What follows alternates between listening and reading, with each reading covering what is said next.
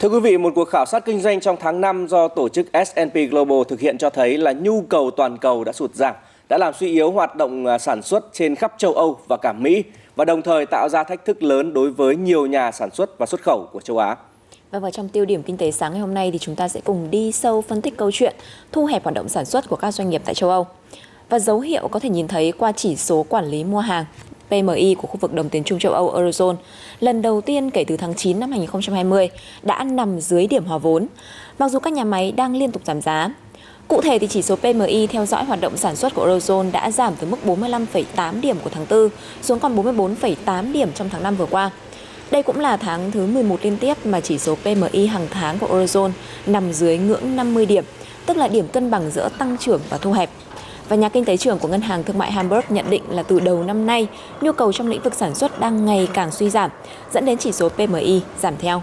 Và trong vài tháng tới thì do tình trạng thiếu hụt đơn đặt hàng mới từ trong và ngoài nước, sản lượng đầu ra của các nhà máy sẽ tiếp tục đi xuống. Chuyên gia này cũng lưu ý là sự suy giảm đang diễn ra trên diện rộng, trải dài cả ở bốn nền kinh tế lớn nhất của Eurozone là Đức, Pháp, Italia và Tây Ban Nha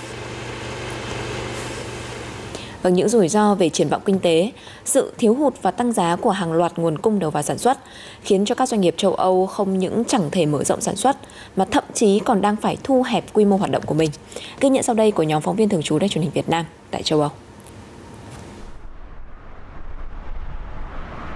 Chi phí năng lượng cao, lãi suất tăng và những căng thẳng khó lường từ chiến sự ở Ukraine đã khiến thu nhập trước thuế của BASF, tập đoàn hóa chất hàng đầu của Đức, dự kiến giảm 5,2 tỷ euro trong năm nay.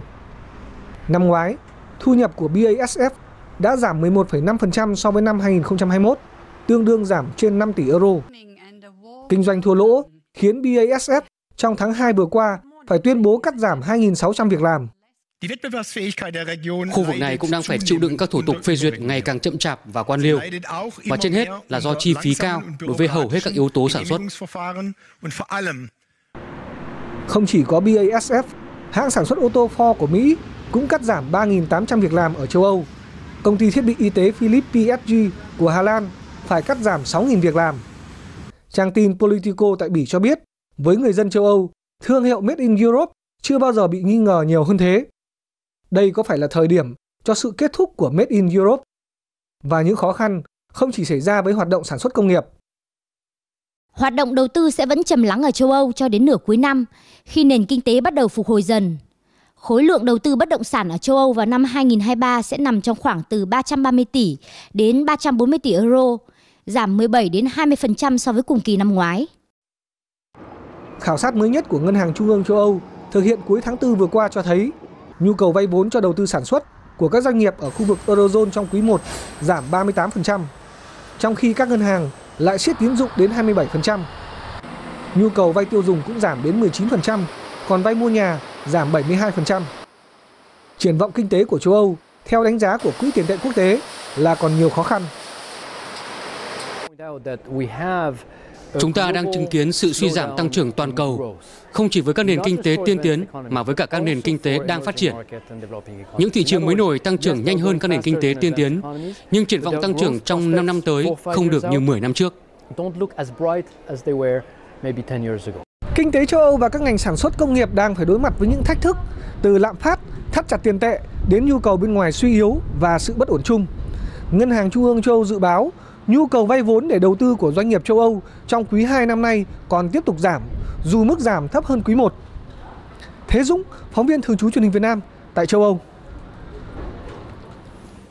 Vâng, có thể thấy rằng là việc nhu cầu vay vốn của các doanh nghiệp châu Âu sẽ còn à, trong quý 2 sẽ còn giảm tiếp. Như vậy là hoạt động sản xuất sẽ còn rất là khó khăn. Song liệu điều này có khiến cho Ngân hàng Trung ương châu Âu xem xét lại về chính sách lãi suất hiện nay hay không khi mà lạm phát tại lục địa già thì vẫn đang giảm theo lộ trình? Như các phân tích của chương trình tài chính kinh doanh đã đưa ra thì ờ, dự báo là Ngân hàng Trung ương châu Âu sẽ tiếp tục lộ trình tăng lãi suất cơ bản, kể cả là khi lạm phát ở tại châu lục này đã hạ nhiệt. Ở hiện các chuyên gia tiếp tục nghiêng nhiều về khả năng ECB sẽ vẫn phải thực hiện thêm hai đợt tăng lãi suất nữa trong tháng 6 và tháng 7 với mức tăng mỗi lần là thêm 0,25 điểm phần trăm. Và báo chí kinh tế châu Âu ra cuối tuần vừa rồi thì cũng đã có nhiều bài phân tích về chủ đề lãi suất và lạm phát. Từ châu Âu, phóng viên Lê Hồng Quang điểm lại một số trang báo kinh tế đáng chú ý. Kính chào quý vị khán giả. Lạm phát đã bất ngờ giảm mạnh trong khối các nước sử dụng đồng tiền chung euro. À, từ mặt trời 24 giờ ra tại Italia hôm thứ Sáu vừa rồi chạy tít ngay trên trang nhất. Lạm phát giảm từ 7 xuống 6,1% nhờ giá năng lượng và giá thực phẩm đều giảm. Điện năng tại một số nước châu Âu dồi dào tới mức bên sản xuất điện có lúc phải trả thêm tiền cho bên mua điện để khuyến khích sử dụng lượng điện dư thừa. Giá khí đốt bán buôn đã xuống tới mức rất thấp, 24 euro, tương đương mức giá trung bình của 3 năm từ 2018 cho đến 2021. Còn giá xăng dầu bán lẻ cũng đã bình ổn trở lại. Chính sách tăng lãi suất kiềm chế lạm phát mà Ngân hàng Trung ương châu Âu theo đuổi suốt từ giữa năm ngoái đã có tác dụng. Tờ Courier ra tại Áo trích đăng nhận định của Tổng cục Thống kê nước này rằng lạm phát đã mất đi rất nhiều động lực. Bài báo viết, người tiêu dùng đã được hưởng giá nhiên liệu và giá dầu sưởi ấm thấp hơn. Dự kiến giá điện năng và giá khí đốt bán lẻ tới hộ gia đình cũng sẽ tiếp tục giảm từ nay cho tới cuối năm. Lạm phát giảm mạnh nhưng vẫn có những yếu tố có thể kéo giá cả đi lên. Mà yếu tố quan trọng nhất lúc này là tỷ lệ thất nghiệp tại châu Âu quá thấp. 6,5% là tỷ lệ thất nghiệp thấp nhất kể từ khi có đồng tiền chung euro. Tờ Boxen của Đan Mạch phân tích, khan hiếm nhân công buộc doanh nghiệp phải tăng lương thì mới tuyển dụng được người mới và giữ chân người đang có. Lương tăng sẽ giúp khôi phục sức mua của người tiêu dùng và từ đó có thể kéo theo những đợt tăng giá mới. Mặt khác, tỷ lệ thất nghiệp thấp cho thấy rằng tăng lãi suất vẫn chưa tác động xấu tới sản xuất kinh doanh. Cho nên tờ báo Đan Mạch kết luận rằng chừng nào mà nền kinh tế còn đứng vững ấy, thì Ngân hàng Trung ương châu Âu vẫn sẽ tiếp tục tăng lãi suất và hút bớt tiền ra. Thì đó cũng là nhận định của tờ Cinco Dias ra tại Tây Ban Nha cách đây 2 ngày trong bài báo Ngân hàng Trung ương châu Âu kiên quyết tăng lãi suất bất chấp lạm phát giảm. Bởi vì lạm phát trong Eurozone có giảm ấy, thì vẫn là 6,1%. Hoặc là nếu không tính tới giá thực phẩm, rượu, bia, thuốc lá thì lạm phát cơ bản 5,3% vẫn là cao hơn nhiều so với mục tiêu 2%. Tờ báo Tây Ban Nha viết, biên bản cuộc họp của Ngân hàng Trung ương châu Âu công bố hôm thứ Năm tuần trước cho thấy ý định của Hội đồng Thống đốc là tiếp tục tăng lãi suất, mặc dù là với tốc độ nhẹ nhàng hơn. Thị trường tài chính trông đợi mức tăng 25 điểm cơ bản vào giữa tháng này và ít nhất một lần tăng nữa cũng ở mức đó vào tháng sau. Đó là một số bài trên báo chí châu Âu tuần qua. Lê Hồng Quang, phóng viên truyền hình Việt Nam từ Budapest, Hungary. Một rõ ràng là một khi lãi suất còn tăng thì doanh nghiệp còn khó tiếp cận với dòng vốn với giá hợp lý để mà tái đầu tư và mở rộng hoạt động sản xuất.